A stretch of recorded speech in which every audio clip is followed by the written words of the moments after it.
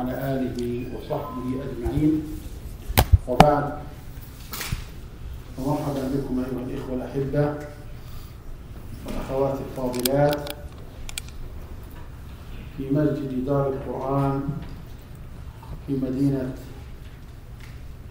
شيكاغو الأمريكية.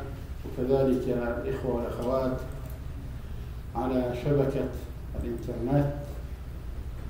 في هذه العشية المباركة عشية يوم السبت العاشر من شهر القعدة سنة سبع وثلاثين وأربعمائة وألف من الهجرة الموافق لليوم الثاني الثالث عشر من شهر أغسطس آب لسنة ستة عشر وألفين من التاريخ الميلادي. وكنا قد تكلمنا في المجلس السابق أو في المجالس السابقة بالأمس عن رسالة الإمام السيوطي الأربعون حديثا من رواية مالك عن نافع عن ابن عمر والتي تعرف بسلسلة الذهب. تكلمنا عن الإمام السيوطي تكلمنا عن الإسناد وعن إسنادنا إلى الإمام السيوطي وإسناد الإمام السيوطي إلى الإمام مالك وإسناد الإمام مالك إلى النبي صلى الله عليه وسلم في هذه الأحاديث الأربعين الصحيحة. المسندة بأحلى وأعلى إسناد. وتكلمنا عن أسباب اختيارنا لهذه الرسالة وقرأنا منها سبعة أحاديث بينا من خلالها كثيرا من الأحكام الشرعية الفقهية ومسائل متعلقة بكثير من العلوم الشرعية في حينه واليوم نكمل إن شاء الله ما يتيسر من هذه الأحاديث الأربعين ونبدأ بالحديث الثاني لكن بعد أن يترجم أخونا أبو عبد الله هذه المقدمة التي أنا استرسلت فيها آه ناسيا أو غافلا عن الترجمة الحقيقة. تفضل يا سيدي. بسم الله الرحمن الرحيم. الحمد لله رب العالمين والصلاة والسلام على رسوله الكريم. اللهم لا علم لنا إلا ما علمتنا إنك أنت العليم الحكيم. اللهم علمنا ما ينفعنا وانفعنا بما علمتنا وزدنا علما. فإنه من يرد الله به خيرا يفقهه في الدين So we started yesterday by the will and tawfiq and taysir of Allah Azza wa Jal the explanation of this series of 40 hadith that Al-Imam Jalal al-Din al-Suyuti rahimahullah ta'ala collected which are specific ahadith that are known by the golden sanad which means that they are some of the most trustworthy men of you know in the chain. And they go all the way back to uh, Imam Malik Imam Medina to Rasulullah sallallahu alayhi wasallam who narrated them from Nafi' who is the servant of Abdullah ibn Umar radiyallahu anhuma from Abdullah ibn Umar from the Prophet Muhammad sallallahu alayhi wasallam and I think we covered six ahadith yesterday or seven ahadith inshallah we're going to continue and one of the reasons that the sheikh mentioned that he chose those specific 40 or selection of 40 hadith is that they are relatively short few words but contain a lot of knowledge that we're hoping that we will benefit from. Also, Sheikh Barakallahu fi, he has an ijaza with uh, connected sanad all the way to Imam Suyuti and then all the way to the Prophet Muhammad sallallahu alaihi wasallam. And yesterday he told us the chain of mashayikh or shuyukh that he took from and who they took from in a connected chain of man all the way to the Prophet Muhammad sallallahu alaihi wasallam. So today, inshallah, we're going to continue with the next hadith. ونبدأ بالحديث الثامن حيث قال الإمام السلوكي رحمه الله تعالى به أي بالإسناد الأول الذي قرأناه أن رسول الله صلى الله عليه وسلم قال إذا جاء أحدكم الجمعة فليغتسل the eighth hadith, and I'm sorry, just let me pull it up.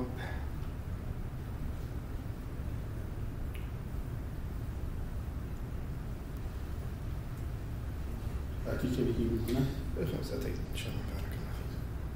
So the eighth hadith, which is where we reached last night, is with the same sanad, the sanad that uh, Sheikh Barakallah fi mentioned in details, uh, st- stage by stage, all the man in the sanad.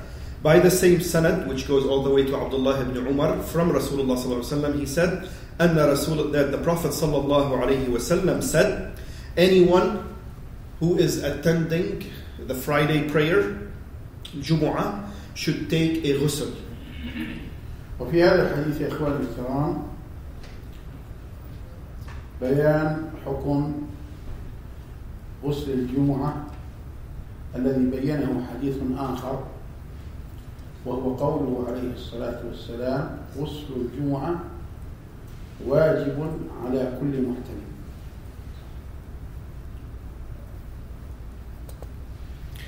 So this hadith shows and indicates the ruling on taking a ghusl on the day of Jumu'ah, which also is identified or, or clarified in another hadith where Rasulullah said that the ghusl for the prayer for Yom al-Jumu'ah, for the uh, Jumu'ah prayer, is wajib on every person who is in a state of janaba. غسل الجمعة واجب على كل محتلم أعيد نعم. ما ذكرت الجنابة أنا فكيف أتيت بها آه نعم عفوا محترم المحترم اللي هو على كل محتلم أي على كل بالغ آه بالغ عفوا نعم Yeah. The hadith, uh, I'm sorry, the Shaykh Barakallah fi corrected me. The ghusl is on Yom al Jumu'ah is wajib on every person who reached the uh, age of puberty. المحتلم هو الذي بلغ. ومن العجائب الشرعية طبعا أن السبكي الذي كان يعاصر شيخ الإسلام ابن تيمية كان عالم من علماء المسلمين مشهور يعني الذي يضع رأسه في رأس ابن تيمية يعني له مكانته. وكان له ولد. وهذا الولد صار عالما كبيرا بعد أبيه أيضا. صاحب كتاب طبقات الشافعية الابن السبكي الابن ذهب أبوه به إلى الحج. من باب حج الغلام. ف لأنه باتفاق أهل العلم يجوز حج الغلام مع أبيه رفعت امرأة صبيا فقالت يا رسول الله. لهذا حج؟ قال نعم ولك أجر. فالسبكي الأب أخذ السبكي الإبن وهو صغير لم يبلغ الحلم الحلم. في ذي الحليفة حين أرادوا أن يحرموا احتلم الولد. فأحرم بحجة الإسلام لأنه الآن محترم فالاحتلام عادة يكون في الحادية عشرة فما بعد حادية عشرة ثلاثة عشرة بالنسبة لبلادنا بعض البلدان يتأخر والنساء قد تحترم قبل الحادية عشرة نعم تفضل. The Sheikh is mentioning that Imam al-Subki, rahimahullah ta'ala, who is a great scholar, he said that he is on the same level of Shaykh al-Islam ibn Taymiyyah, rahimahullah ta'ala. So he was a great scholar and authored many, many books. He had a son. And even that son obviously became also likewise a great scholar. So both the father and the son were both great scholars of Islam. And the son, the scholar, the Subki, the son, uh, he authored a book called Tabaqat al-Shafi'iyya that contains Madhab al-Imam al-Shafi'i. طبقات علماء الشافعية. Ah, that contains biography of all the scholars of المذهب الإمام الشافعي رحمه الله تعالى. Uh, the father mentioned that he once went for Hajj and he took the son with him, even when he was too young. He, would, he at that time he didn't reach the uh, age of puberty. And the Sheikh also uh, noted on the side that uh, it is permissible to take the son even when they are too young for Hajj. And uh, he mentioned the mother at the time of the Prophet ﷺ who raised her very young son, and she said, "Does is can he perform Hajj?" And he said, "Yes." Alayhi salatu wassalam. And he said, "Yes." Alayhi salatu wassalam. And you and for the mother, she will get reward for it. So uh, Imam al-Subki, he took his son, and when they reach Dhul Hulayfa, where, where, which is the miqat, where they would, you know, uh, make ihram and wear the ihram, the, the son uh, re, uh, just became or, or reached the uh, age of puberty or became a uh, adult person who is responsible and mukallaf. Uh, and the Sheikh also mentioned that uh, you know, that the boy uh, can become or can reach the age of puberty as early as or as young as 11 years. Some people obviously uh, they reach the puberty at a, at a, later stage, and for the girls they can have even reach it, you know, ahead of time, or even uh, at, at a, a younger age than 11 years. ولمن يكتب يعني تتميما للفائدة بارك الله فيكم آه، تاج الدين السبكي هو الولد الذي احتلم اسمه محمد تاج الدين محمد ابن علي آه، السبكي. والوالد هو تقي الدين مثل شيخ الإسلام كان يقال له تقي الدين وهذا له تقي الدين. تقي الدين آه، علي بن عبد الكافي السبكي. فالولد يلقب بتاج الدين والابن والأب يلقب بتقي الدين. الولد اسمه محمد والوالد اسمه علي. فعلي ابن عبد الكافي السبكي أخذ ولده تاج الدين محمد ابن علي بن عبد الكافي السبكي فاحتلم في ذي الحليفة فأحرم بحجة الإسلام. تفضل. Uh, the Sheikh not noted that the father, Imam al-Subki, the father is called Taqiyuddin al-Subki. So that, you know, when if you do ever research online, you can differentiate between the two. And the son that we were talking about is uh, called Tajuddin Muhammad al-Subki, who is the son, also a scholar. And this is the person that, or this is the son that his father took for Hajj, and like I said, uh, reached the age of puberty uh, exactly at Al Miqat, where uh, they uh, would uh, make ihram or start uh, wear the ihram And you know, since he re- reached the age of puberty, then he actually made the intention or made uh, the ihram with the hijjah of Islam, because now he became a baligh at the age of puberty. So his hajj is counted as the fard hajj that every Muslim should do once in a lifetime. طيب غسل الجمعة يا إخواني قلنا واجب على كل محترم كما في الحديث وكان الإمام الشافعي رحمه الله تعالى كان آه، لا يرى وجوب الغسل يوم الجمعة. فلما وقف على هذا الحديث غسل الجمعة واجب على كل مسلم قال ما تركت الغسل بعد ذلك سفرا ولا حضرا ولا صيفا ولا شتاء So based on this hadith, غسل الجمعة uh, إذا جاء أحدكم الجمعة فليغتسل whoever uh, is attending the Friday should take a bath. Uh, the Sheikh noted that Imam al-Shafi'i did not, his opinion was not that ghusl on Yawm al-Jumu'ah is a wajib. And then Imam al-Shafi'i, he said, until I read the hadith that the ghusl on the day of Jumu'ah is a wajib on every person who reached the age of puberty. He said, after I read that hadith, I never missed the ghusl, doing the ghusl on the day of Jumu'ah, whether I was in town or whether I was journeying during winter or during summer. I never missed ma- making ghusl. والأحاديث التي جاءت في فضل يوم في فضل الغسل يوم الجمعة كثيرة بل كثيرة جدا.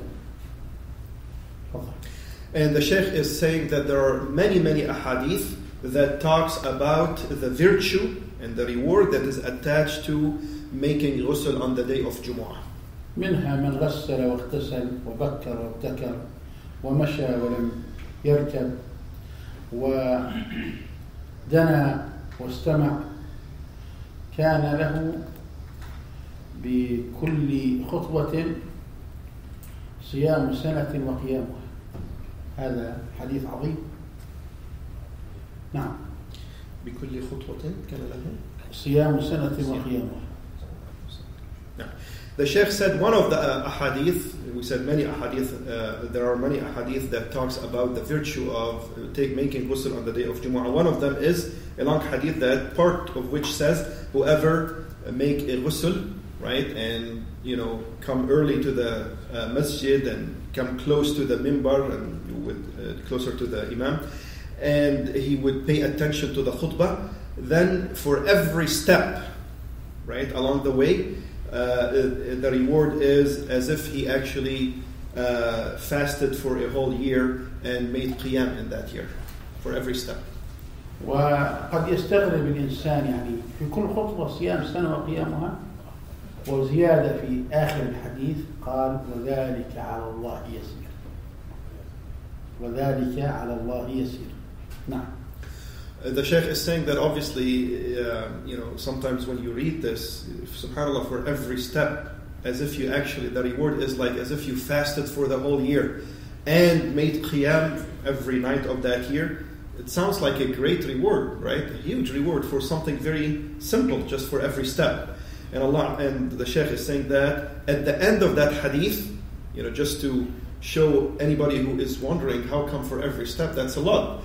It says that Rasulullah ﷺ is saying, and this is for Allah easy.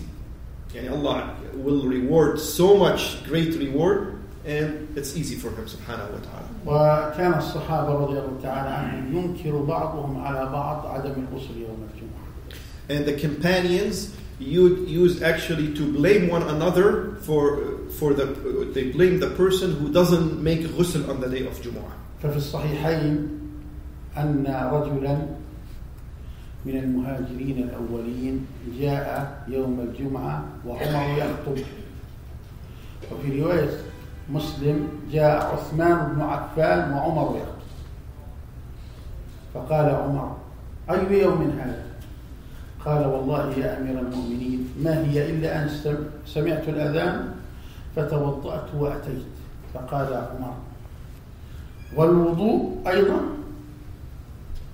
وتعلم أن رسول الله صلى الله عليه وسلم كان يقول إذا جاء أحدكم الجمعة فليغتسل. هذا الحديث الذي نحن بصدده. And he said in the in both Sahih, Sahih Bukhari and Sahih Muslim, there is a hadith uh, where a man came into the masjid when Umar ibn al-Khattab was giving the khutbah. In another narration, it is it mentions that Uthman ibn Affan anhu was the person who entered the masjid while Umar ibn al-Khattab was giving the khutbah. And he asked him, which day is this? And he said, uh, Wallahi, I didn't realize it was Friday until I heard the adhan. And then I realized it was uh, Friday. So I made the wudu and then I came. And then نهاية الحديث الشيخ بعد ما الوضوء. قال والوضوء أيضا وتعلم أن رسول الله صلى الله عليه وسلم قال إذا جاء أحدكم الجمعة فليغتسل. فما فهمت شو يعني والوضوء أيضا. يعني أنت تأخرت عن الجمعة وأيضا ما ما اغتسلت؟ أي نعم. نعم. so يعني أنكر عليه التأخر وأنكر عليه عدم الاغتسال. أي نعم. so when you know it could have been Uthman or it could be another Sahabi when he said I just realized when I heard al-adhan so I made quickly uh, uh, uh, wudu and I came to the masjid which means that he didn't make ghusl so Umar ibn al-Khattab he said and you even uh, you're coming late and you didn't make ghusl and, and, and then he mentioned the, the hadith of the Prophet sallallahu alaihi wasallam that uh, he should make ghusl on the day of Jumu'ah. والخلاصة يا إخواني أن غسل الجمعة واجب لا تفرط فيه So the summary, right, to sum it up, all this discussion, is that ghusl al-Jumu'ah is a wajib, and we should be very careful to make sure that we make ghusl on the day of Jumu'ah and not miss it. ننتقل إلى الحديث التالي وهو الحديث التاسع قال وبه أن رسول الله صلى الله عليه وسلم رأى بساقا في جدار القبلة فحكه ثم أقبل على الناس فقال إذا كان أحدكم يصلي فلا يبصق قبل وجهه فإن الله تبارك وتعالى قبل وجهه إذا صلى So the ninth hadith is with the same sanad again. Uh, that the Prophet Muhammad sallallahu alaihi wasallam saw a spittle on the wall of Kaaba. You know, somebody spitted on uh, the wall of Kaaba. So he alayhi salatu wasalam scratched it away with his, you know, himself, and, and then turned to the people and said, "When any one of you prays, he must not spit in front of him, for Allah is in front of him when he is engaged in prayer." وفي هذا الحديث حرمة البساق تجاه القبلة In this hadith, there is an indication that it is forbidden to spit in the direction of Qibla. والراجح من أقوال أهل العلم أن البساق تجاه القبلة سواء في الصلاة أو خارج الصلاة محرم And the vast majority of the scholars are with the opinion that spitting in the direction of Qibla, whether in prayer or outside of prayer, is forbidden. ولا يلزم من قوله عليه الصلاة والسلام إذا كان أحدكم يصلي أن هذا مقيد بالصلاة And the fact that in this hadith, Rasulullah ﷺ restricted it to only while you're praying doesn't necessarily mean that it is only forbidden while praying. لأنه إذا كان الإنسان وهو يصلي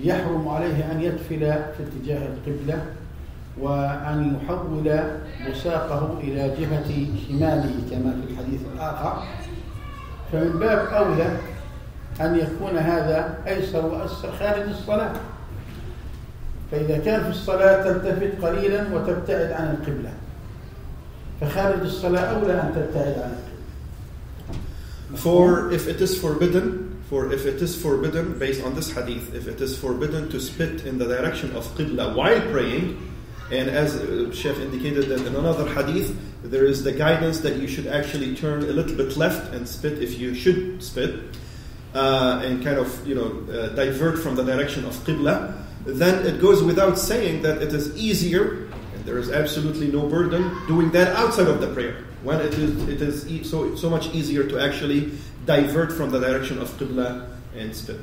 وفي هذا الحديث يتبين لنا معنى قول النبي صلى الله عليه وسلم من رأى منكم منكرا فليغيره بيده فالنبي صلى الله عليه وسلم فسر لنا هذا الحديث بنفسه فغير هذا المنكر بيده In this hadith is a practice of the great other hadith, which where Rasulullah said, "Whoever sees something that is evil, if you see something that is evil or wrong, then you should try to change it with your own hand if you can."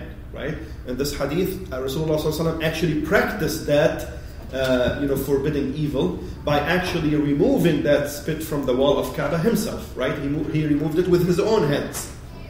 وإذا كان إماطة الأذى عن الطريق صدقة فإماطة الأذى من القبلة صدقة أعظم من إماطة الأذى عن الطريق And if removing the harm from the road that people walk in is a sadaqah, is a uh, uh, charity, then it, removing the spit from the wall of the Kaaba is even a greater charity.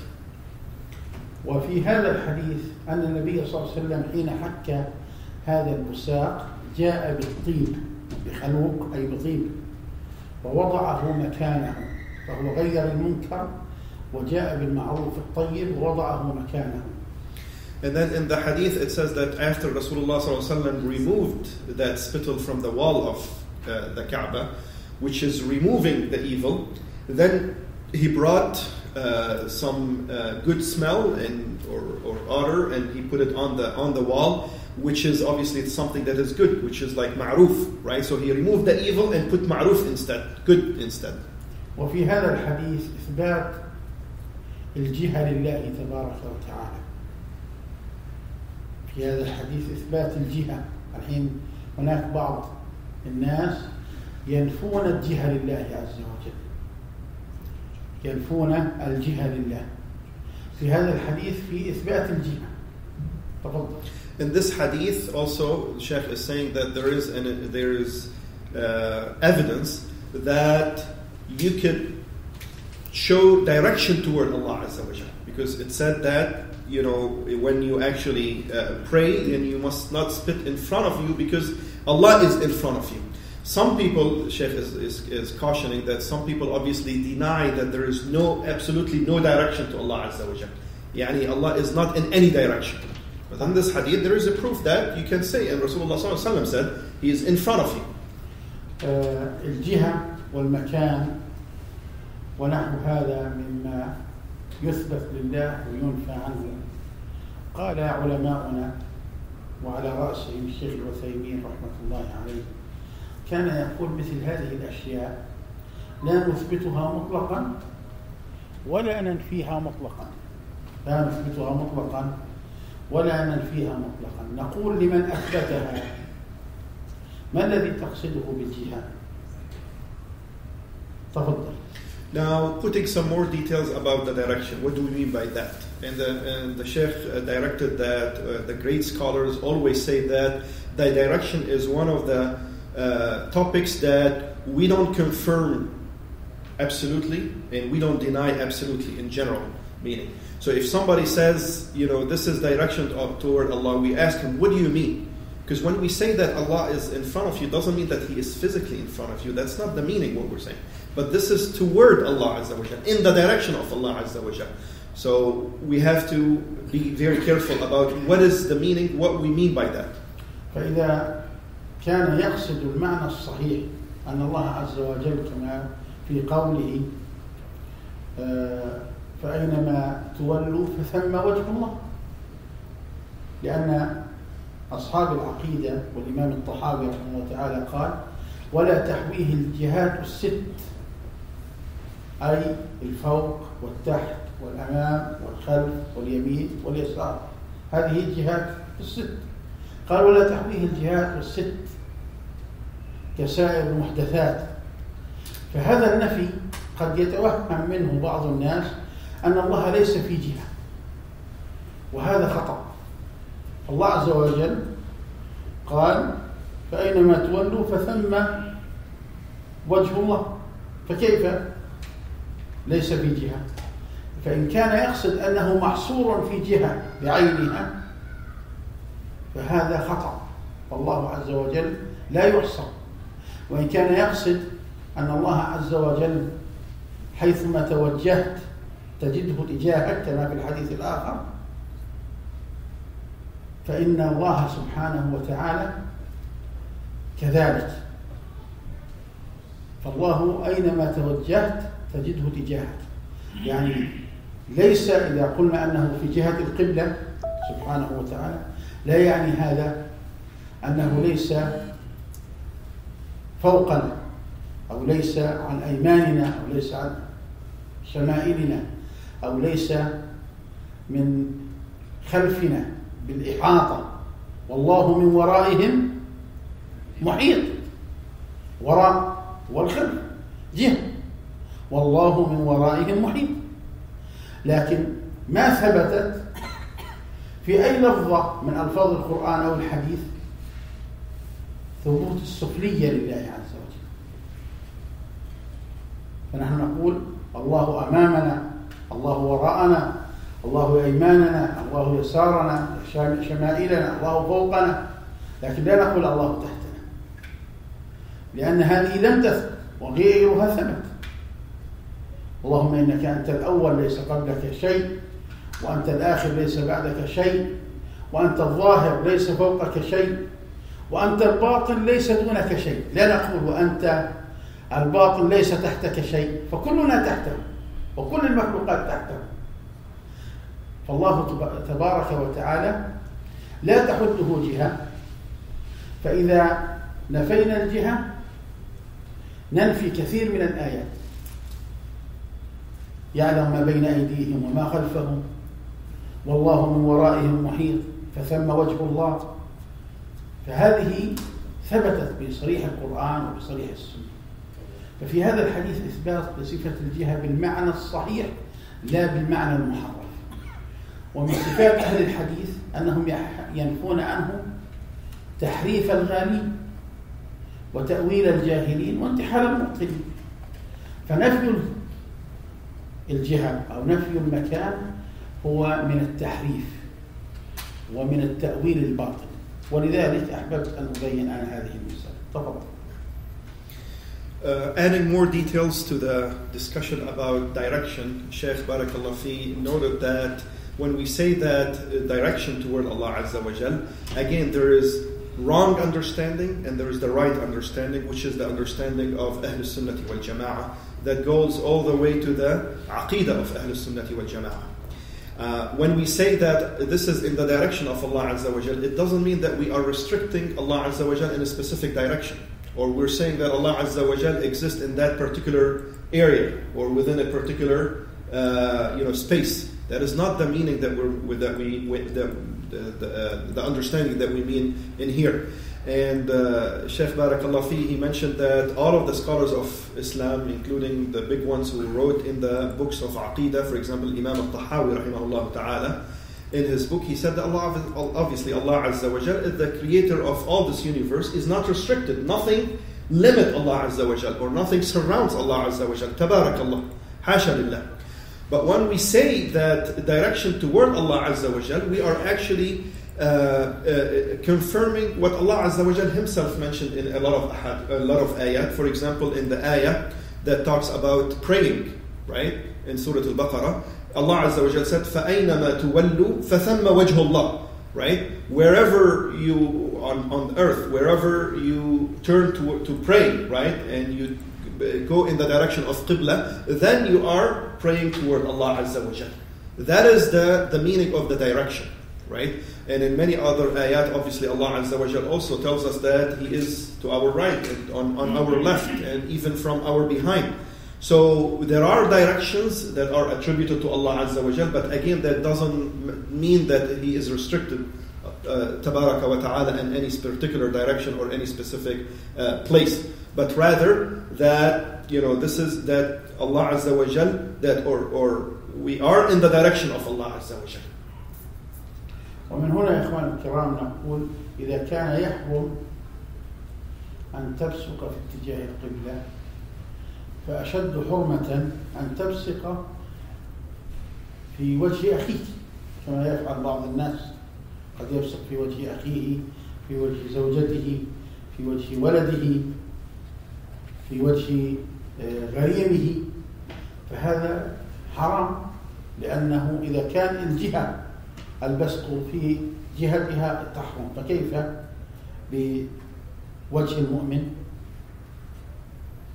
And if it is forbidden, based on this hadith, it is forbidden to spit in the direction of Qibla, then the Shaykh said it is even more uh, forbidden and it is worse of a, of a sin to spit in the face of somebody.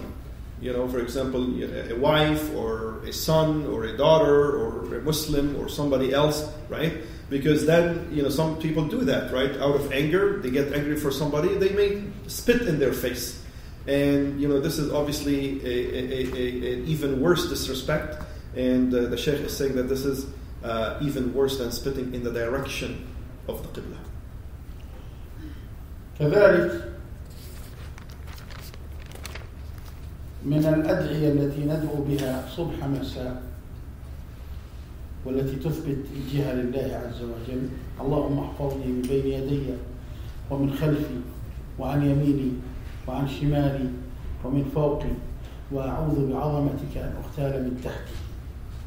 هذه من أدعية الصباح والمساء. فكيف يحفظك الله عز وجل إن لم يكن عن يمينك وعن شمالك ومن خلفك ومن فوقك. وحفظه سبحانه وتعالى أيضا وعظمته تحفظك أي صفات حفظه وعظمته تحفظك أيضا أن تغتال من تحتك. تفضل. He said uh, also from the uh, ahadith that confirms the direction that we've been talking about. Is one of the uh, daily dua. You know, we, don't, we know that there are the morning dua and the evening dua that we say uh, to get the uh, protection of Allah Azza wa Jal. For example, when you make dua to Allah Azza wa Jal that, oh Allah, preserve me and protect me from within, from between my hands and from my back and from my front, from my right side and from my left side, right? Uh, and Allah Azza wa Jal is obviously surrounding us from all those directions and He protects us from all directions. So this also again confirms that we attribute direction to Allah Azza wa Jal, we don't limit Him to that direction. ننتقل إلى الحديث العاشر قال وبه أن رسول الله صلى الله عليه وسلم كان يصلي قبل الظهر ركعتين وبعدها ركعتين وبعد المغرب ركعتين في بيته وبعد صلاة العشاء ركعتين وكان لا يصلي بعد الجمعة حتى ينصرف فيصلي ركعتين في بيته The tenth hadith, again with the same sanad that we mentioned at the very beginning, that Rasulullah sallallahu alayhi wasallam uh, used to pray two rak'ah uh, before the Zuhr prayer and two rak'ah after it. And he also used to pray two rak'ah after the Maghrib prayer at his house and two rak'ah after Isha prayer. He never prayed after Jumu'ah prayer till he departed from the masjid and then he would pray two rak'ah at home. هذه الركعات في هذا الحديث حديث ابن عمر. لا تعني حصر الركعات الراتبة. فهناك أحاديث أخرى سنذكرها. تدلل أن الحديث هذا لا يراد به الحصر إنما يراد به التنوع. The, obviously, in this hadith, there is a mention of the number of rak'at. And but we know from other ahadith that mentions other number, uh, you know, dif, dif, uh, uh, differing number of rak'at. He's saying that the, the, the number of rak'at that are mentioned in this hadith should not be understood that these are only the numbers of the uh, uh, optional regular sunnah or nafi. We call them al-rawatib, which the Rasulullah used to pray them regularly, and they are from the optional prayer because we know that uh, other, another number of rak'at was mentioned, but this is to show the variety, diversity, that he used to pray this and he used to pray uh, other number of rak'at. وفي حديث أبي أيوب الأنصاري أن النبي صلى الله عليه وسلم كان يصلي أربعا قبل الظهر فسأله أبو أيوب عن ذلك فقال عليه الصلاة والسلام إن أبواب السماء تفتح في هذه الساعة فأحب أن يصعد لي فيها عمل صالح. فسأله أبو أيوب يا رسول الله أيفصل بينهن بسلام؟ فقال له فيمكن أن تصلي أربعا تفصل بينهن بالسلام لقوله صلى الله عليه وسلم في الحديث السابق الذي قرأناه أمس صلاة الليل والنهار مثنى مثنى ويمكن أن لا تفصل بينهن بسلام فتصليهن أربعا متصلات بحديث أبي أيوب هذا In another hadith narrated by Abu Ayyub al-Ansari radiyallahu anh, he saw Rasulullah sallallahu praying four rak'at before dhuhr prayer. Now in this hadith, two rak'at are mentioned. In another hadith, uh, Abu Ayyub, he saw Rasulullah pray four rak'at before dhuhr prayer. So he asked him about that. Uh, so Allah, uh, so the Prophet Muhammad said that this is a time, which is before Asr, uh, before Dhuhr, is a time when the doors of the sky are open. And he said, I like my good deed to be raised during that time. So Abu Ayyub al-Ansari, he asked him again, are they these four rak'at should be split and separated by a salam, meaning two rak'at, two rak'at? And he said no. So meaning that he prayed four rak'at together with only one julus and one salam. But we know also from the previous hadith that we explained earlier in this series of 40 hadith, right? Where we, when we saw that Rasulullah said that the prayer of the day and night is two rak'ah, two rak'ah, right? So now we have two ways of doing it. You could, based on the multiple hadith, you can pray the sunnah before the dhuhr prayer. You can either pray it as four rak'ah together, or you can pray two rak'ah salam and then two rak'ah salam. وقد ثبت أن ابن عمر وأبا ذر من الصحابة وسعيد بن جبير وسعيد بن المسيب والحسن البصري وهم من كبار التابعين كانوا يصلون بعد الظهر أربعا أيضا Also, it is authentically narrated to us from many uh, great Sahaba and some of the uh, Tabi'in, the second generation, that they used to pray four rak'at after Salat al-Dhuhr. This hadith, it mentions only two rak'at, but like Ibn Umar and many other Sahaba, they used to pray four rak'at after Salat al-Dhuhr. وكانت أم حبيبة رضي الله تعالى عنها تقول سمعت رسول الله صلى الله عليه وسلم يقول من صلى أربعا قبل الظهر وأربعا بعد الظهر حرمه الله على النار And Umm Habiba radiallahu anha wardaha, she said, she narrated that she heard Rasulullah sallallahu alayhi wasallam as saying, whoever prays four rak'at before dhuhr and four rak'at after dhuhr, then Allah azza wa jal forbade fire on him. وهذا الحديث في إسناده ضعف لكن إذا ما أضفنا إليه فعل الصحابة الذي ذكرناه والتابعين دل على أن أنه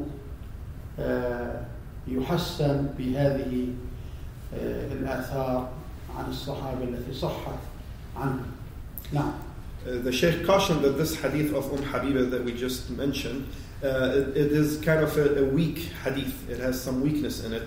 Uh, but with taking into account the practice of Sahaba and Tabi'een that has been authentically narrated to us, we say that this strengthens the degree of the hadith, although it is weak, but it becomes, you know, a better, you know, good hadith uh, and sound hadith if we take into account the practice of the Sahaba and the Tabi'in.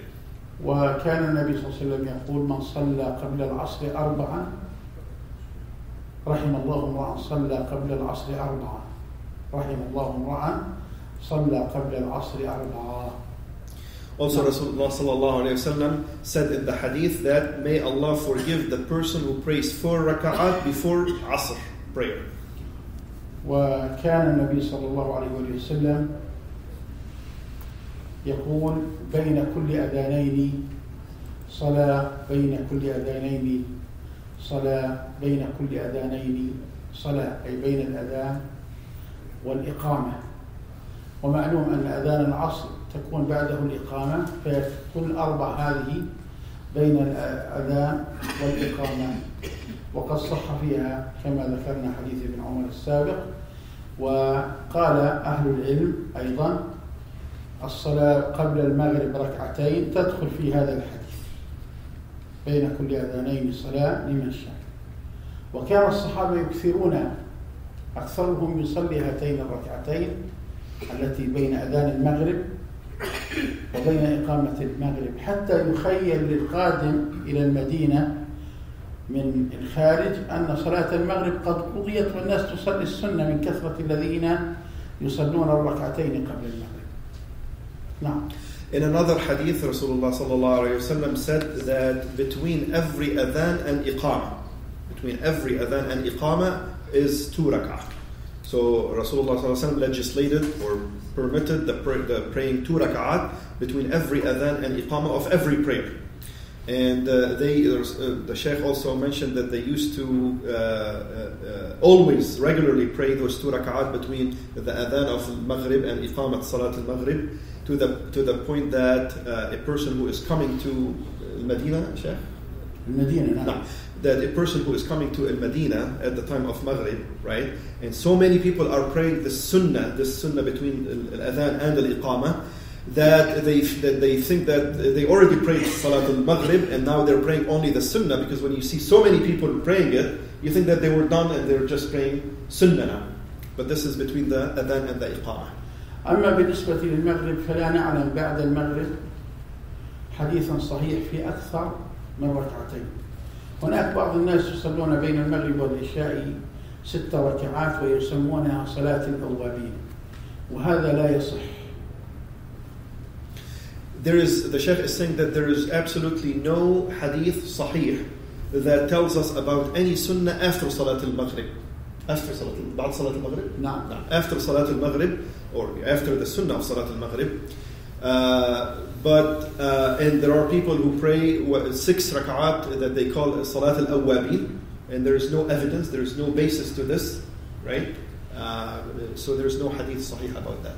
وصلاة الأوابين موضعها في وقت الضحى وليس بين المغرب والعشاء And the Sheikh is saying that Salat al Awabin is actually mentioned, but the time for it is actually during the time of Salat al Duha, which is uh, after uh, sunrise by 15 20 minutes, all the way to uh, shortly before Salat al Dhuhr, the time of Salat al Dhuhr. Well, this is where Salat al Awabin should be. وصلاة الركعتين بعد المغرب تكون في البيت وليس في المسجد إلا للمرابط في المسجد بين المغرب والعشاء.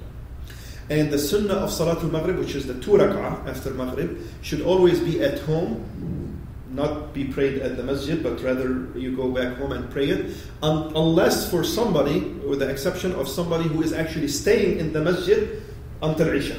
So he's not, he's not leaving the masjid, he's not going back home or anywhere, he's staying at the masjid, then he may pray that, but otherwise he should or she should pray it at home. وكان عمر رضي الله تعالى عنه يضرب من يصلي صلاة المغرب صلاة السنة في المسجد بعد المغرب ويوكل رجال بضرب الذين يصلون في المسجد الركعتين بعد صلاة المغرب. And Umar ibn Khattab radiallahu anh, used to actually beat the person who prays uh, sunnah, uh, uh, sunnah of Salat al-Maghrib in the masjid and he would task certain people to do the same for people for, for uh, to those who pray in the masjid and not at home. فبعد المغرب إما أن يذهب إلى بيته فيصلي النافلة هناك وإما أن يرابط في المسجد وإما أن يجلس في مجلس ذكر بين المغرب والعشاء في المسجد وقد صح في ذلك أحاديث ليس هذا مجال ذكرها نعم. Uh, so the Sheikh is saying in summary, you should you should either go home and pray the Sunnah of Al Maghrib, or stay in the masjid until Isha and then pray it over there, or you could sit if there is a circle of ilm in the masjid, or or or or, or you uh, spend you can spend the time with dhikr of Allah Azza wa Jalla. وبعد صلاة العشاء ركعتين هذه الراتبة وإلا فيصلى بعد هاتين الركعتين إلى الفجر يمكن أن يصلي إحدى عشرة ركعة أو ثلاثة عشرة ركعة أو ينقص من ذلك ما شاء فهذه هي التهجد أو قيام الليل أما الركعتين بعد العشاء فهما الراتبة So, so the, so the nafila that is regular, ratiba, is the two rak'ah after Salat al-Isha.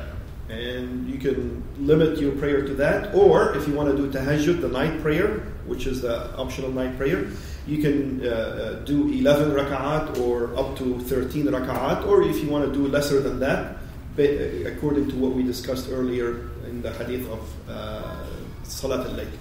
قوله وكان لا يصلي بعد الجمعة حتى ينصرف فيصلي ركعتين في بيته هذا من فعله صلى الله عليه وسلم أما من قوله فقد ثبت من قوله عليه الصلاة والسلام من صلى الجمعة فليصلي بعدها أربعة وقوله مقدم على فعله In this hadith, Rasulullah said, or it, it, he was narrated as not praying in the masjid after Salatul Jumu'ah, right, at the end of the hadith. The Shaykh is saying that this is from the practice. This is what Rasulullah used to do.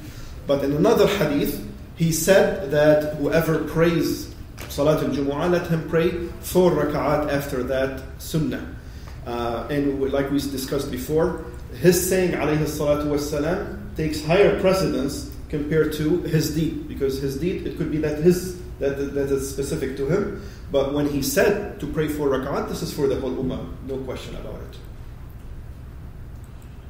وحديث ابي هريره رضي الله تعالى عنه الذي ذكرناه من كان منكم مصليا بعد الجمعه فليصلي بعدها أربعًا اما ان صلى ركعتين فيكون عمل بفعله عليه الصلاة والسلام وإن صلى اربعا فيكون عمل بقوله. وقوله مقدم على فعله عددا و عددا و أصلا أو هنقول إيش؟ مقدم على فعله عددا وحكما لأن الحكم في القول مقدم على الفعل عددا وحكما نعم If the person prays two rakat after Salat al-Jumu'ah, then he is following the practice of Rasulullah which is in this hadith that we are explaining. Because he said he would pray two rakat uh, in, at his home. And if he prays four rakat, then he is following his saying alayhi salatu wasalam. And again, we repeat and, and, and re-emphasize that his saying it takes higher precedence compared to his deed. So uh, whatever he says, alayhi salatu wasalam, should take higher precedence based in terms of the basis and the number. So notice, he said four rak'at, and he practiced, he did two rak'at at home, right?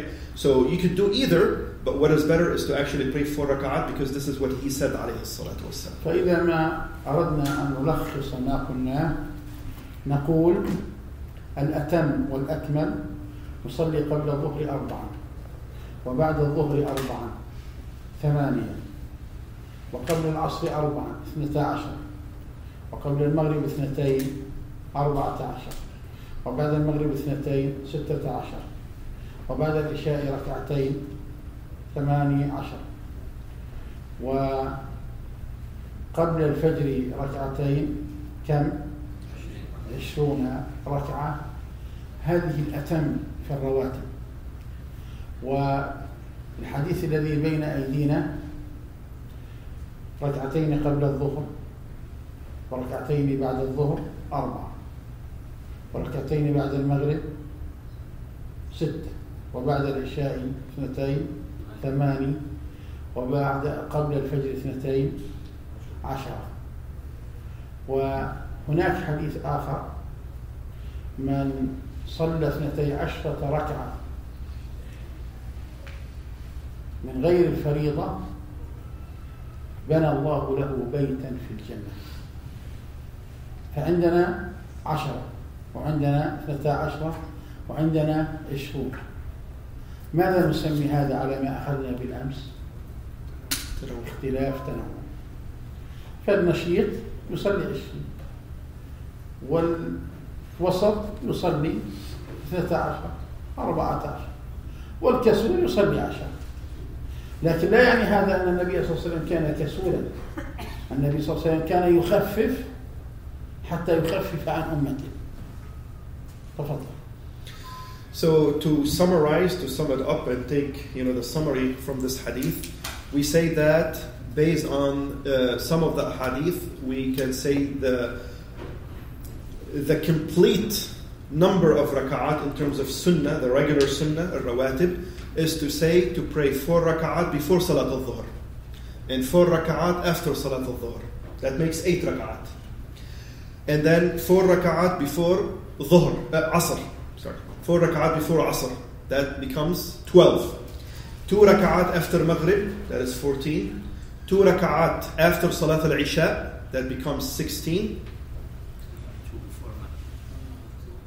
آه لا نحن أربع قبل الظهر أربعة بعد قبل الظهر. وأربعة بعد الظهر وأربعة قبل العصر. هذه هي 12 12. واثنتين قبل المغرب. نعم. نعم. واثنتين بعد المغرب؟ واثنتين بعد المغرب. واثنتين بعد العشاء. قد اثنين قبل الفجر واثنتين قبل. Four rak'at, four rak'at before dhuhr and four rak'at after, that is eight. Four rak'at before asr, that is 12. And then two rak'at before maghrib and two rak'at after maghrib, that becomes 16. And then two rak'at after salat al-isha, that is 18. and the two rak'at before Salat al-Fajr, that is 20 rak'ah, 20 rak'at from the Sunnah Ratiba. But also based on this hadith that we are explaining, right? Uh, it says that he used to pray two rak'at before Asr, uh, before Dhuhr, and two rak'at after Dhuhr, that is four, and two rak'at uh, before uh, uh, after Maghrib, that is six, right? And then uh, with two rak'at uh, after Isha, that is eight, and two rak'at before Fajr, that is ten. So we have we see that there is a you know difference between the two, and then in another yet hadith where Rasulullah says that whoever prays twelve rak'at other than al fard, then Allah Azza wa Jal will build a house for him in paradise. Now we see that we have now three numbers, three totals, right? 10, 12, and 20. We say about this, what do we say? Is this contradiction? No. Based on what we said yesterday, this is actually uh, variation from the, from the aspect of uh, diversity. We have different options. So the Sheikh said, so whoever feels like he's capable and he's, you know, uh, he has all the energy to pray more, let him pray 20. If you don't feel, you feel tired and weak and, you know, you can pray 10. You can settle for 10. If you feel middle ground, you pray 12, the 12 rak'at. ويمكن أن تصل الرواتب إلى 47 النوافل أقصد إلى 47 ركعة يمكن أن تصل النوافل في اليوم إلى 47 ركعة يصلي ركعتين قبل العشاء بين أذان وإقامة العشاء فهذه 22 ويصلي ثلاث عشرة ركعة من الليل غير الذي سبق. ويصلي اثنتي عشرة ركعة من الضحى. هذه خمس وعشرون واثنان وعشرون فتصبح يصبح العدد سبعة وأربعين ركعة. نعم. Also, the Sheikh said, based on other ahadith, you can, you could actually take Salat al-Nafila, which is the optional prayer, They can, they can reach the number of rak'at, can reach a total of 47 rak'at, believe it or not. Because based on you know the 20, the, tw- the, the 20 count that we mentioned before, if you add to that two rak'at between the adhan and iqamah of Salat al Isha, and you can pray up to 13 rak'at during the night prayer, and you can also choose to do 13 rak'at uh, for Salat al-Duha. If you do the math, that will add up to 47. ويمكن أن يزيد على ذلك بالوضوء بالطهارة. ففي حديث بلال رضي الله تعالى عنه أن النبي صلى الله عليه وسلم قال يا بلال أخبرني بأرجى عمل عملته في الإسلام فإني سمعت دفا عليك بين يدي في الجنة. قال ما أحدثت في ساعة من ليل أو نهار إلا توضأت وفي رواية تطهرت وصليت ما شاء الله لي أن أصلي. وهذا من التنفل المطلق ممكن أنك تتوضأ تصلي ركعتين تصلي أربعة تصلي ستة فتزيد ما شاء الله أن تزيد وما زدت فعند الله عز وجل الأجر أكثر وأكثر And beyond that, you're obviously uh, permitted to pray as many rak'at as you want for Allah Azza wa Jal. And in the hadith, Rasulullah asked Bilal, he saw or he heard the noise of Bilal radiallahu anh walking in Jannah. And he said, what, what is the reason for that? And he said, I don't know of any deed aside from whenever I committed hadath, which is the deeds that nullify one's wudu, right? Going to restroom, relieving oneself, passing gas, etc., etc. He said, every time I did that, I would make wudu and then I pray two rak'at. Or whatever Allah Azza wa Jal gave me tawfiq to pray. So they can add up and the ajr adds up. انتهينا من أحاديث الطهارة والصلاة ننتقل إلى أحاديث الصيام Sheikh بس عفوا. And I just realized that I made a mistake when I said about the duha, 12 rak'at, not 13. نعم قال وبه أن رسول الله صلى الله عليه وسلم فرض زكاة الفطر من رمضان على الناس صاعا من تمر أو صاعا من شعير على كل حر أو عبد ذكر أو أنثى من المسلمين The 11th hadith with the same sanad, uh, the Prophet sallallahu alaihi wasallam enjoined and yani, he ordered to give zakat al-fitr at the end of Ramadan upon the people a sa' uh, which is a measuring, and I'm pretty sure we're going to talk about that, a sa' of dates or a sa' of barley upon everyone, free or slave, male or female of the Muslims. وفي هذا الحديث أن رسول الله صلى الله عليه وسلم كان يفرض كما يفرض الله تبارك وتعالى لأن فرض رسول الله صلى الله عليه وسلم هو فضل من الله عز وجل And this hadith is a, is a, is a strong indication that, because Rasulullah said he enjoined and he ordered. So we say that Rasulullah orders and legislates exactly like Allah Azza wa Jal legislates. And whatever he ordered, as if uh, Allah Azza wa Jal ordered. وزكاة الفطر ليس لها وقت إلا آخر رمضان ليس لها وقت إلا آخر رمضان نعم And salat, uh, the zakat al-fitr does not have any time except to say that it should be given toward the end of Ramadan.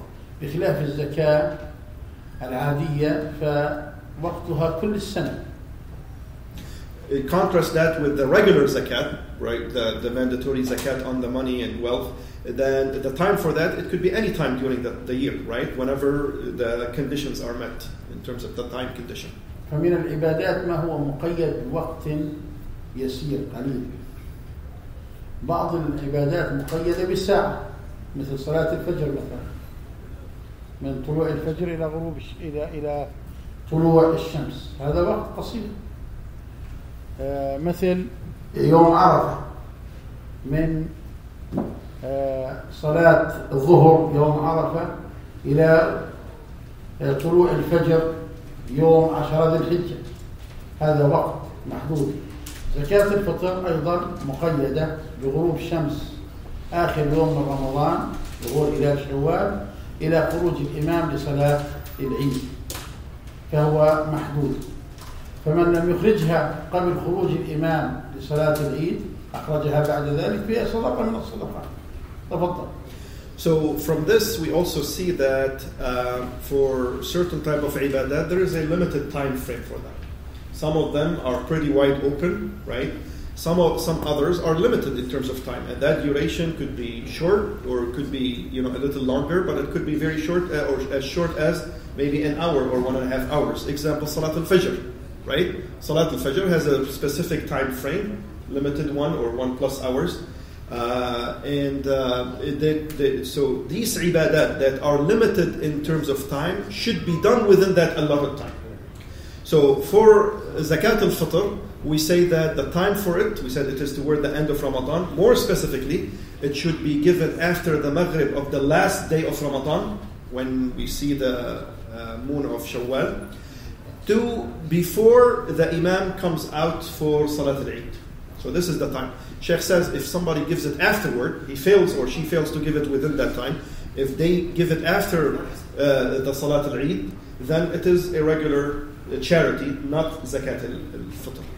وكذلك لو أخرجها في رمضان فهي تكون صدقة من الصدقات Likewise, مرتبطة باسمها بالفطر وليس برمضان نعم likewise, the Sheikh says if the salat, if zakat al-fitr was given sometime during Ramadan, then it is it is not called zakat al-fitr. Again, it's charity. But uh, the, the fact that it is called salat zakat al-fitr, it is related to when we break the fast, and it has specific time. وقوله هنا على الناس أي على المسلمين على المؤمنين فهي ليست مفروضة على غير المسلمين والمؤمنين نعم His saying alayhi salatu wasalam that he enjoyed it on the Muslims, it means that this is a duty upon only the Muslims, not anybody else, right? Only for the Muslims. والصاع أيها الإخوة أربعة أمداد وهو ما يعادل حوالي 2 كيلو ونصف من القمح أو من التمر أو من الشعير ويختلف باختلاف المواد يعني التمر الصغير عن التمر الكبير القمح الكبير عن القمح الصغير. لكن الصاع هو مكيال وليس وزن. ونحن عندنا يعني الصاع وعندنا المد وعندنا الإجازات به. فالنبي صلى الله عليه وسلم فرض صاعا وقوله هنا تمر أو شعير لا يعني الحصر. فكل ما يكون قوتا لأهل البلد يصلح أن يكون زكاة فطر كالأرز كالذرة كالبرغل كالفاصوليا أي شيء. الناس يتخذونه قوتا يمكن يمكنهم أن يخرجوه زكاة فطر نعم. In this hadith also it specifies how much is zakat al-fitr, right? So it is uh, he enjoined it, alayhi salatu wasalam, it upon the Muslims. So how much do you give zakat al-fitr? This hadith actually specifies that. And he alayhi salatu wasalam specified it in terms of sa'. And we say that a sa' is actually a type of measurement, right? At the time of the Prophet sallallahu alayhi wasallam that specifies volume, not weight. So it can vary from one type of food to another, but it specifies a, a volume. And it is equal to what we say four times equal what you can, what a, a standard man, you know, build of a man can fit in his in his both hands. If you put your hands together, whatever you fit, can fill it with, it's called mud, right? When, what you can fill in your both hands is mud. The sa' is four times that right? And he allowed alayhi salatu wasalam to be given as a sa' of tamar or dates or it could be barley. And the Sheikh uh, also explained that the fact that Rasulullah uh, specified certain types of food, this is not to say that it is only restricted to that. But this is just an example, and the scholars have said that it can be of any type of the food of the particular country where you are. So it doesn't have to be specifically from dates or barley. It could be something else. It could be corn or it could be rice, right? From whatever people eat in that country, right? But the quantity, it should be uh, the fill of, of your uh, both hands four times that. Uh, approximately, the Sheikh he gave, the, for example, in today's uh, you know measurement, if you want to compare, approximately it is it could be two and a half kilos, for example, of medium-sized dates. وفي هذا الحديث أن زكاة الفطر مفروضة على كل حر وعبد وذكر وأنثى صغير أو كبير على من تجب عليك نفقته. يعني العبد زكاة الفطر عليه في مال سيده وكذلك الزوجة في مال زوجها وكذلك الصغير في مال أبيه وهكذا. نعم.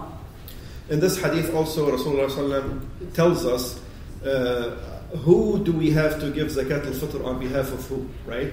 And he said it is on every member of the family who you are required to spend on and to support them financially and feed them.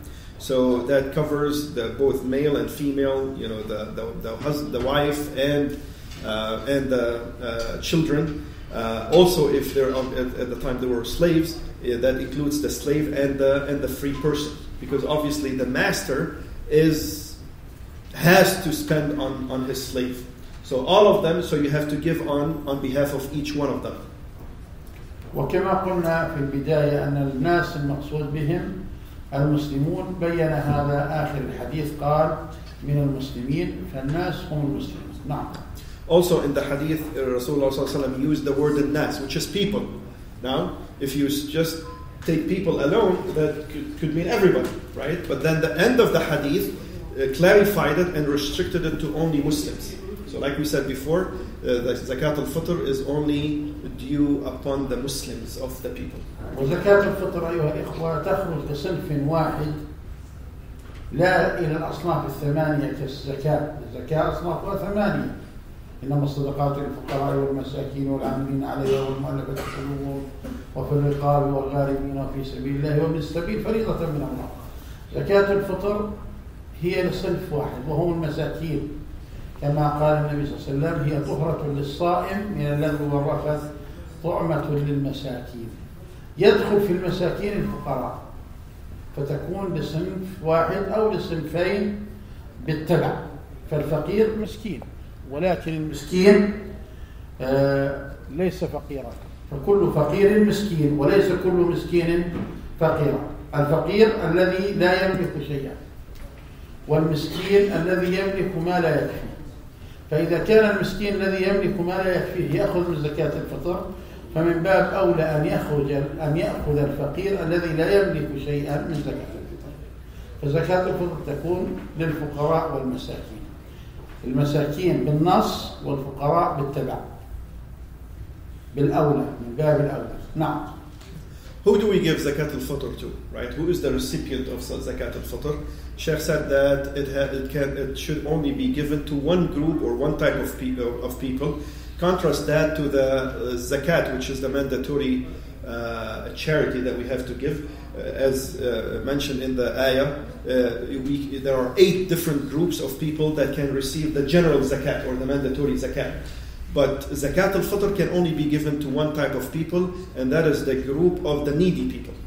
And this tra- literally translates the word masakin, who don't have enough to feed themselves and to support themselves. He said this is uh, specified in the text, but what can be uh, tagged along to it, or what is what would be covered under that as well, are the poor who don't have anything right? That goes without saying. Yani if the person who doesn't have enough receives zakat al-fitr, then the person who doesn't have anything, it goes without saying, right? So these are the people, uh, the needy and the poor are the ones who receives, uh, entitled to receive zakat al-fitr. ولا يجزئ في زكاة الفطر في قول جماهير أهل العلم إخراجها قيمة يعني نقودا إنما يجب إخراجها عينا أي طعاما A related matter to this is the vast majority of the scholars say that it is not sufficient. لا تجزئ. It is not sufficient to give zakat al-fitr as money. Notice that in this hadith it talks about food, right? So is it okay if I give it money? The vast majority of the scholars say it is not sufficient and it doesn't count. قال الحديث الثاني عشر وبه أن رسول الله صلى الله عليه وسلم ذكر رمضان فقال لا تصوموا حتى تروا الهلال ولا تفطروا حتى تروا فإن غم عليكم فاقدروا له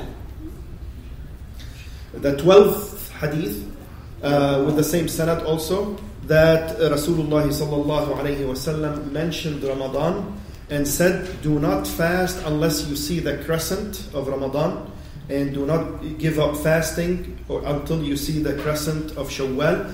But if the sky is overcast, then act on estimation, meaning you complete Shaban. Uh, Shaban as 30 days. وفي هذا الحديث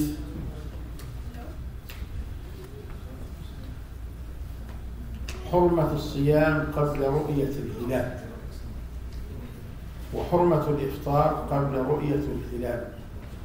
والله عز وجل ذكر الأهلة في القرآن فقال ويسألونك عن الأهلة قل هي مواقيت للناس والحج وقال فمن شهد منكم الشهر أي شهد منكم هلال الشهر فليصم.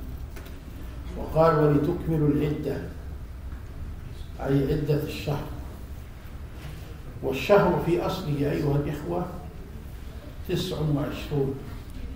الأصل في الشهر تسع وعشرون.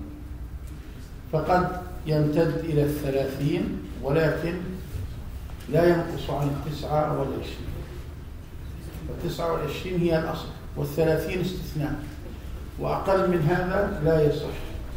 وأكثر من هذا في الشهر القمري العربي أيضا لا يصح بينما في الشهور غير العربية بصير الشهر عندهم 31 مثلا نحن الآن في آب والشهر الماضي تموز 31 لكن في الشهور العربية لا يقل عن 29 ولا يزيد عن 30 في غير الشهور العربية يقل عن 29 شباط كم يكون في الغالب؟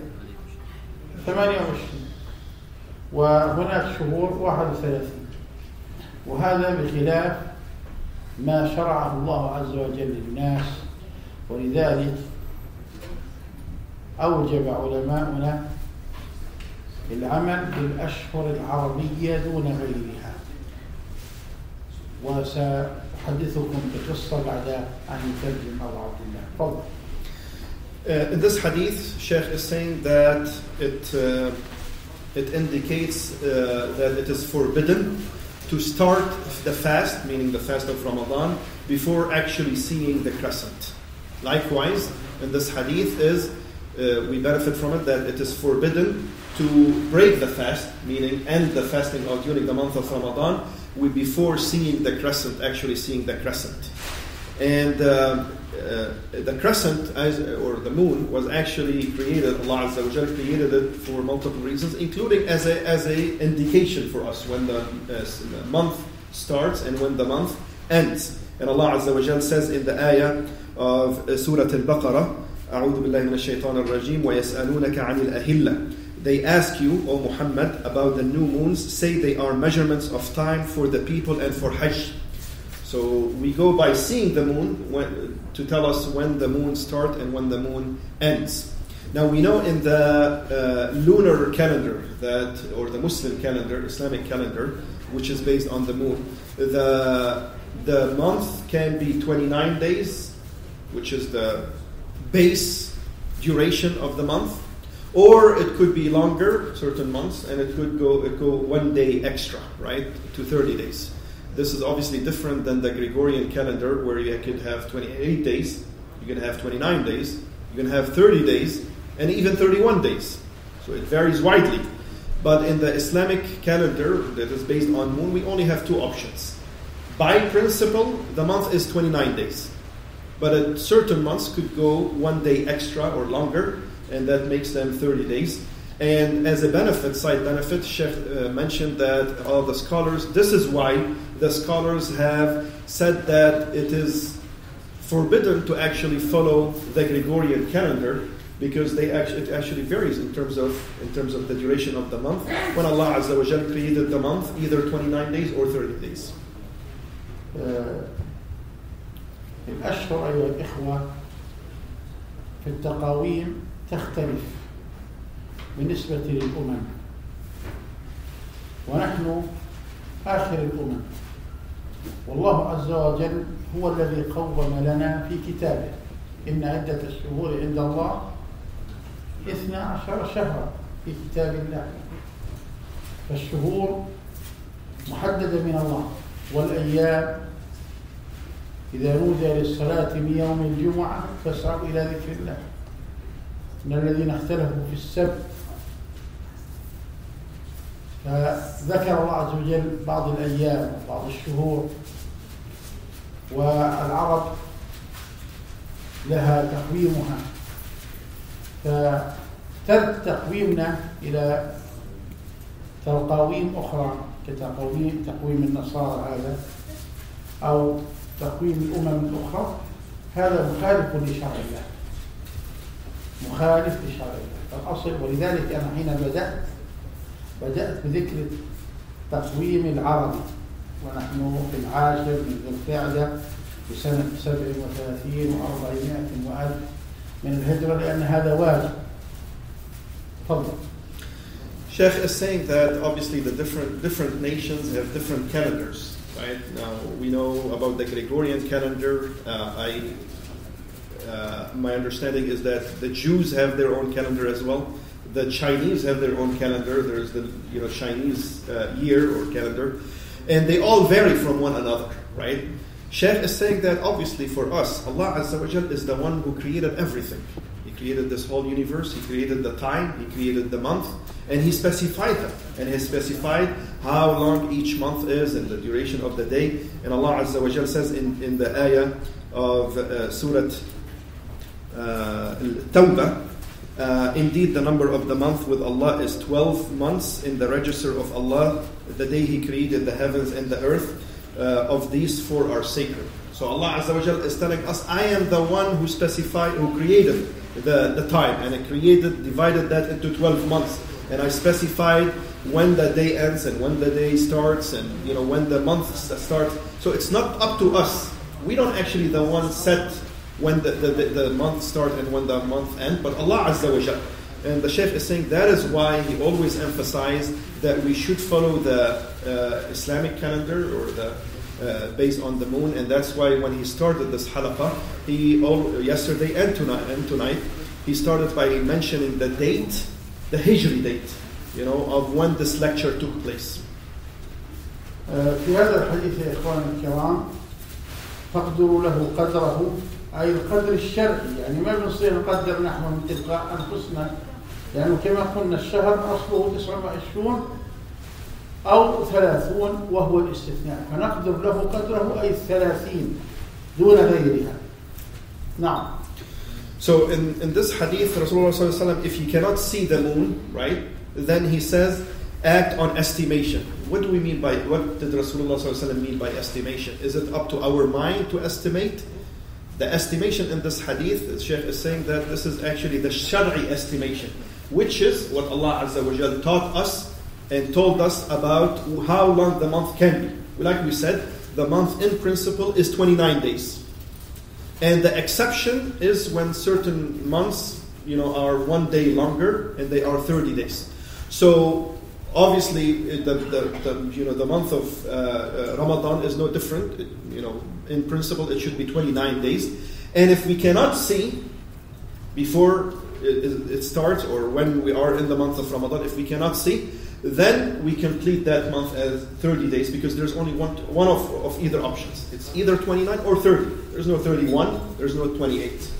ولأن القلوب انعطفت نحو الطعام والشراب الآن الذي يعد لكم سأختم بهذا الحديث ولكن بهذه القصة البسيطة Sheikh is saying since he sees the food coming in, and usually when the food uh, comes, the minds go away.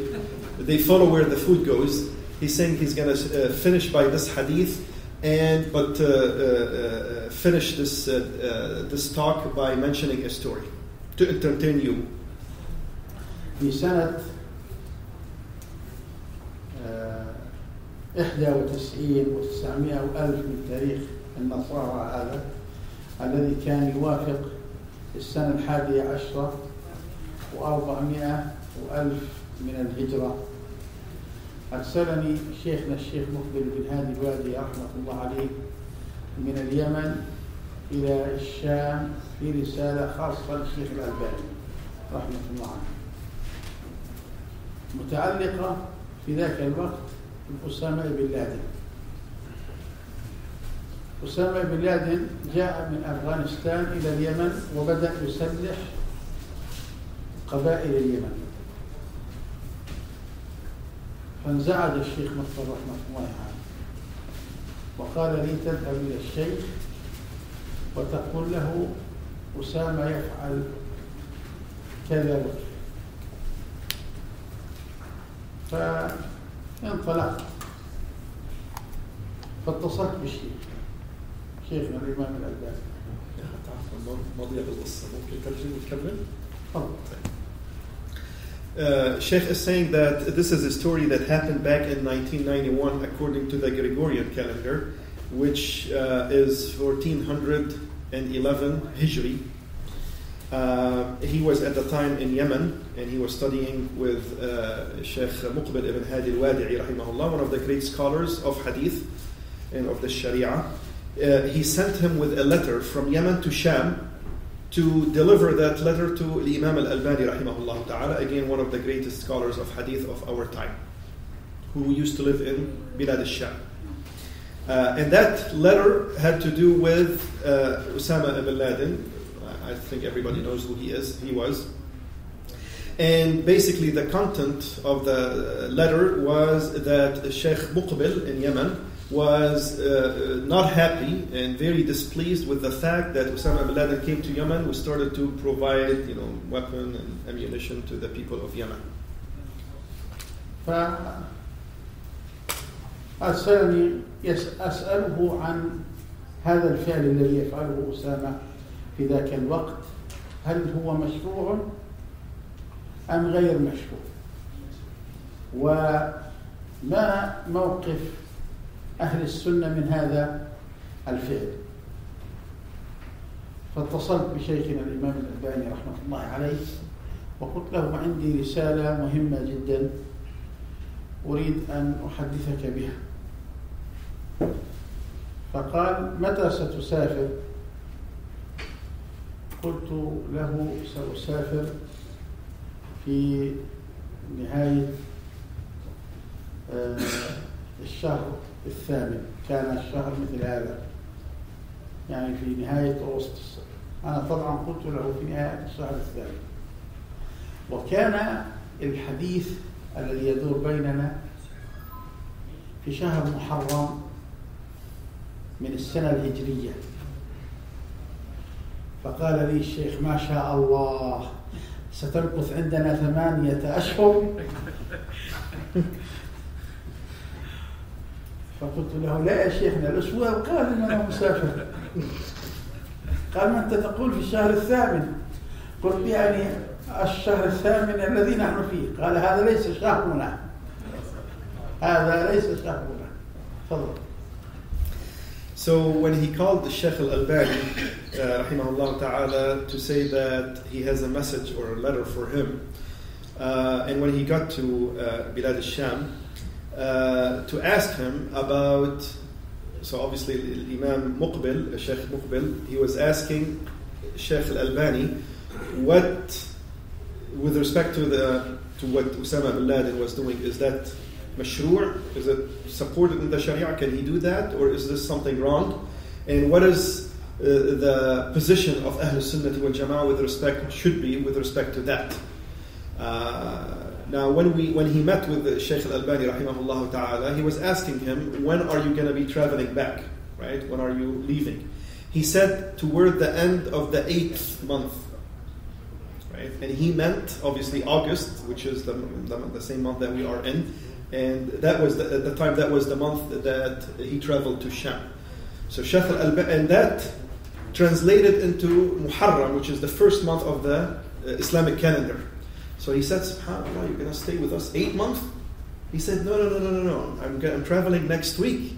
You know, uh, that's why I said uh, the end of the, the month, the eighth month that we are in. So Shaykh al Albani, rahimahullah ta'ala, he said, Well, this is not our month. Why are you referring to the eighth month? We are in Muharram, and that is the month that we are in. This is our month. ولذلك يا إخواني لابد أن نعرف شهورنا من شهور غيرنا. طبعا أنا سقت هذه الحادثة حتى نعرف أن أهل العلم لهم نظر بعيد حتى في التأريخ وفي التقويم. وتمام هذه القصة انني عندما أخبرت الشيخ بما يحدث في اليمن انزعج جدا. وهذا الكلام سنة 1411 والأحداث التي حدثت فيما بعد بسبب أسامة بعد عقود. فانزعج جدا. قال يسلح قبائل اليمن؟ قلت له نعم هكذا بلغنا. قال يسلحهم لمن؟ سيقاتلون من؟ سيقاتلون من؟ من الذي يحيط باليمن؟ انظروا إلى بعد النظر تعرف أنتم الخريطة اليمنية الآن اليمن يحيطها عمان والإمارات والسعودية فإذا تسلح هؤلاء سيقاتلون من؟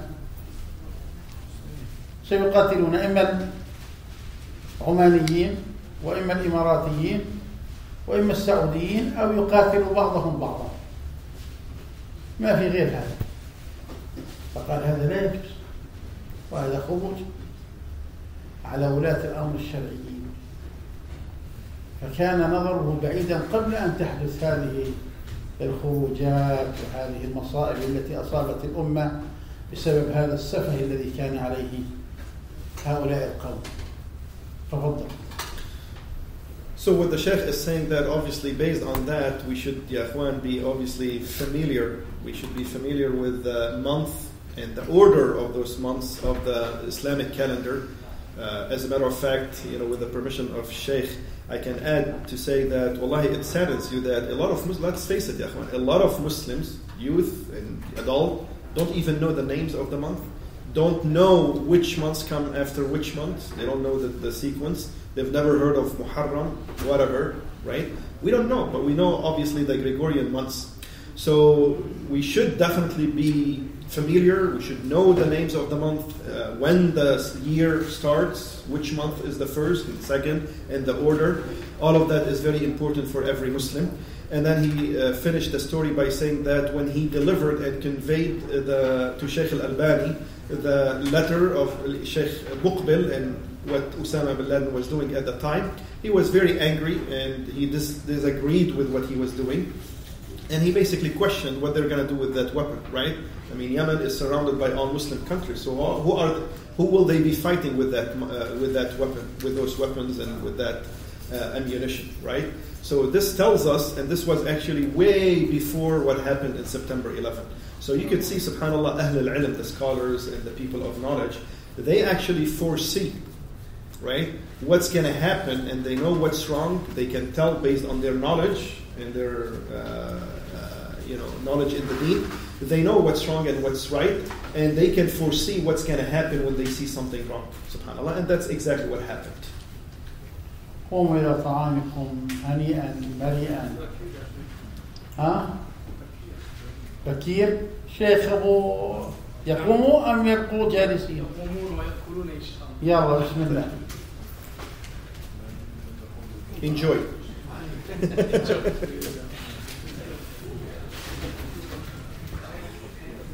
السلام عليكم جزاكم الله خير يا إخوة uh, inshallah we will serve right now the dinner inshallah the akhawat uh, the second floor you could go inshallah to the basement the sisters who are sitting in the second floor in the masjid, you can proceed, inshallah.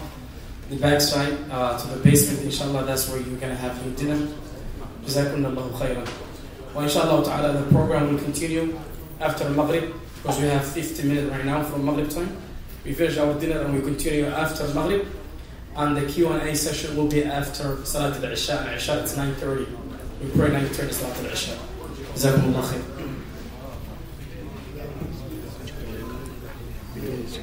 الله يبارك فيك. والله بدنا الله يحفظك الله يكرمك.